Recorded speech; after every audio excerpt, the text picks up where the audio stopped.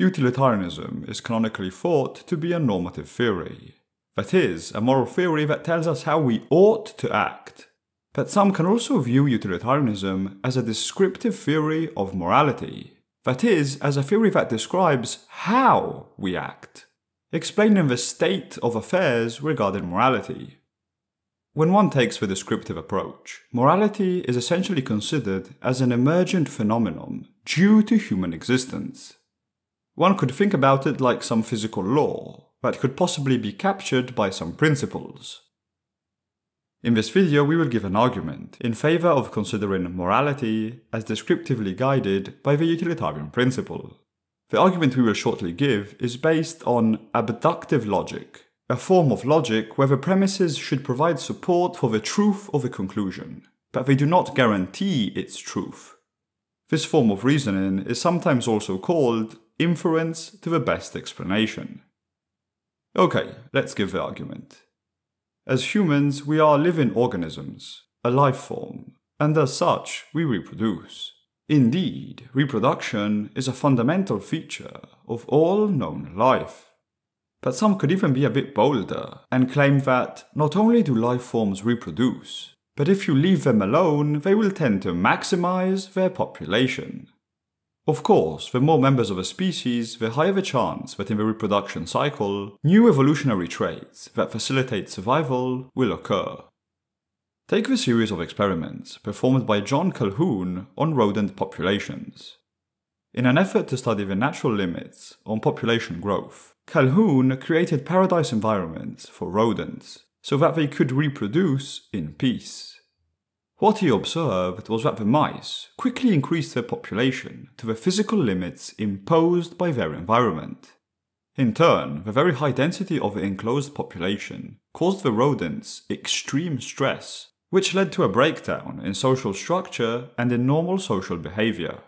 Aggressiveness was increased, and the young were often wounded, ultimately resulting in the demise of a population. For our purposes, what is interesting to note regarding Calhoun's experiments is that, in their utopia, the rodents started maximizing their number with no regards towards the overall well being of their population, as if they were guided by a biological law.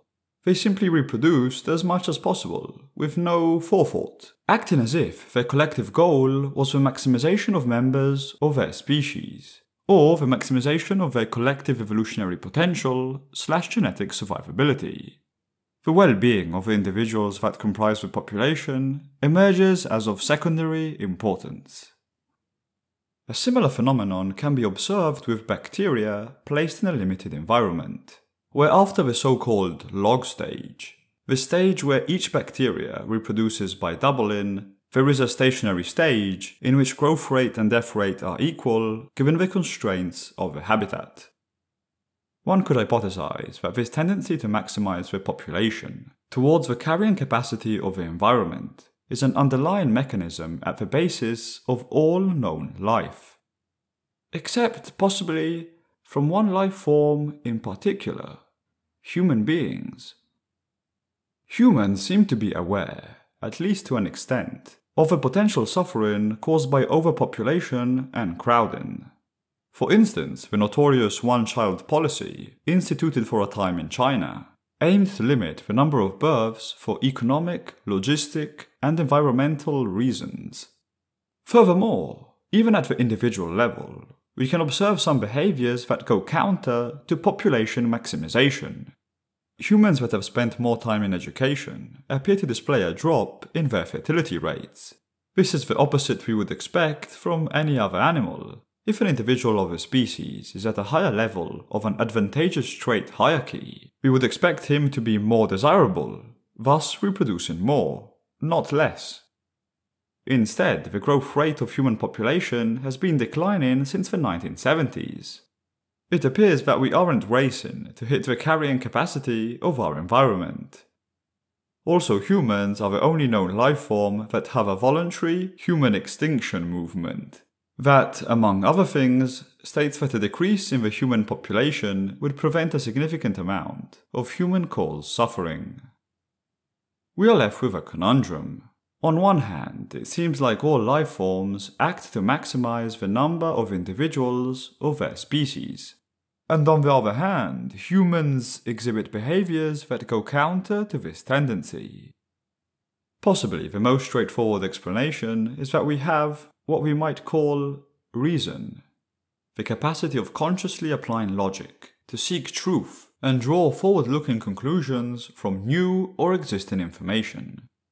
This differentiates us from other life forms. Thus, we claim that the uniqueness of our capacity to reason explains the unique behaviors we exhibit. The inference we make is that what is actually going on under the hood is that reason modifies the objective of our existent maximization procedure. It's not that we as a life form do not have the underlying maximization mechanism that all other life forms have. Rather, the underlying mechanism is changed by the presence of reason. It's still a maximization procedure, but now, instead of a number of individuals, we are maximizing for the well being of the species. A simple way to think about it is that, given a life form, if we start adding reason to it, it will gradually alter the objective of its maximization procedure in a continuous manner.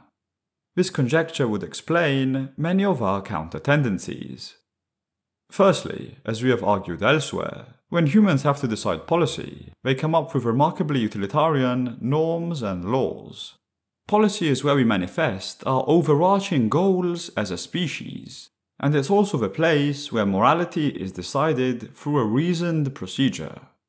In line with our inference, we observe policies that tend to aim at the maximization of well being, rather than at the maximization of population. Second, the lower fertility rates of more educated people would be due to the time spent cultivating their reason, making them more concerned with overall well being than with population maximization. Third, antinatalist movements would now fit the descriptive picture of human behavior, since, if their members are assuming that a life on average is comprised more of suffering than anything else, then it would make perfect sense, from a utilitarian perspective, to forego the evolutionary mechanism of reproduction.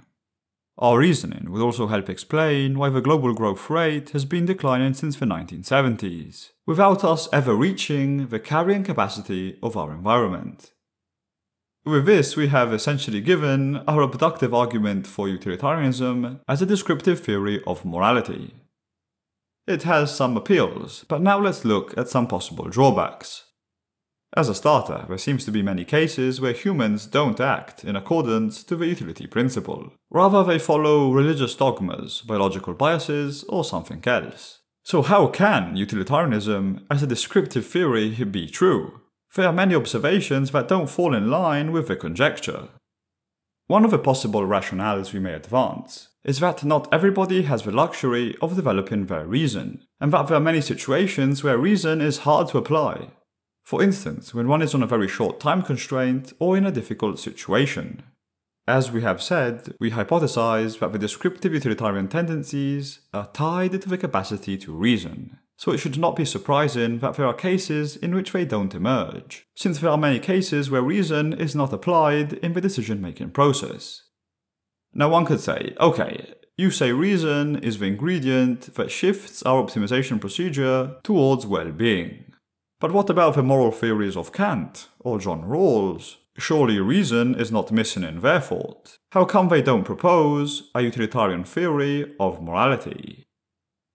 An amusing way to defend our hypothesis from this ulterior objection is to claim that both Kant and Rawls were actually utilitarians, with regards to Immanuel Kant, there is precedent in the literature to support this claim. Richard Mervyn Hare tells us that Kant's formal theory can certainly be interpreted in a way that allows him, perhaps even requires him, to be one kind of utilitarian.